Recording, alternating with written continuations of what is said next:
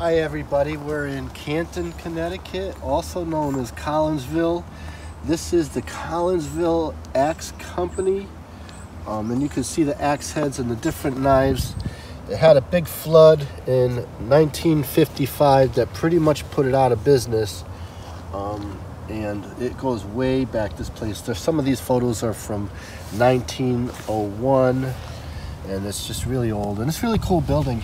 Now it's an antique place and we're here because the Farmington River, you can see right here, runs through it. And it's just, now it's become a sort of scenic place and there's antiques and stuff like that. It's it's a cool little village to visit.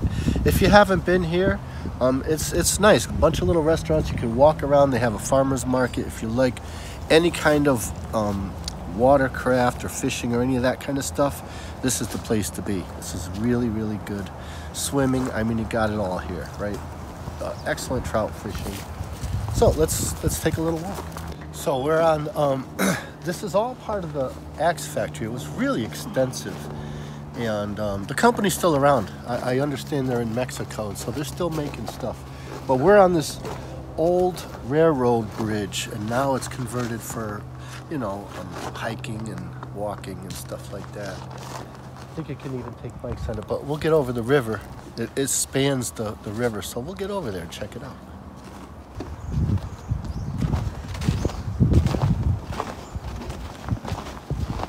Case you're wondering, people out there, um, it's cold. It's, it's real cold.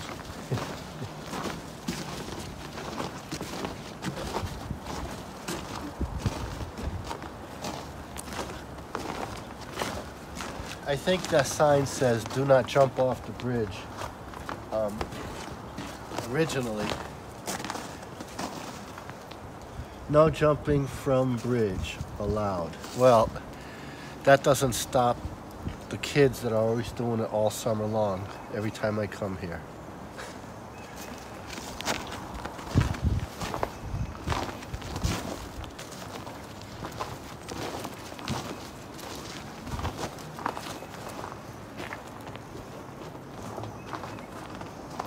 I mean, you look at this bridge here, they just don't make them like that anymore.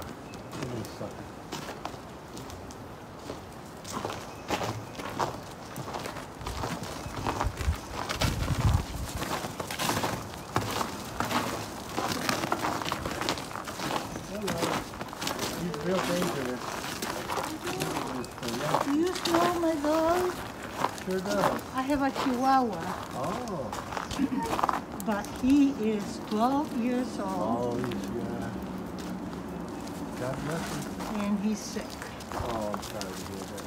This is beautiful. And you're warm. He's warm, I'm not. no, I'm not.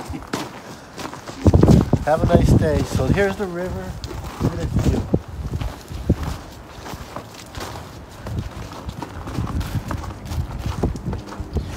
There's some big trout in there. This is uh, this this river is famous for trout fishing. Absolutely some monster trout in here. So that's it. We love you out there. Remember, it's about getting out there and getting water on your head from the bridge.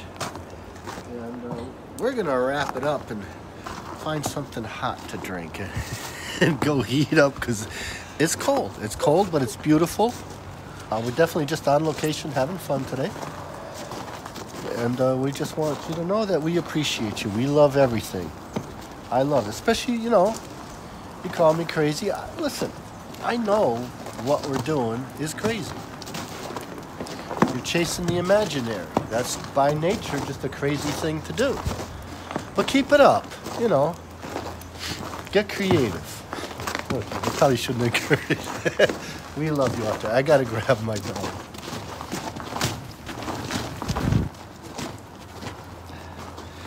We we really like um, interaction. So, you know, all kidding aside, um, we love when you tell us about your adventures, what's going on in your neck of the woods, and if you have some places for us to check out, we will definitely do that.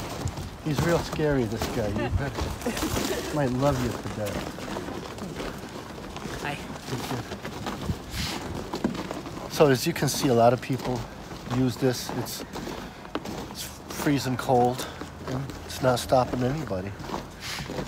This wonderful lady was telling me about her 12 year old chihuahua is not doing good. Starling nest, right there.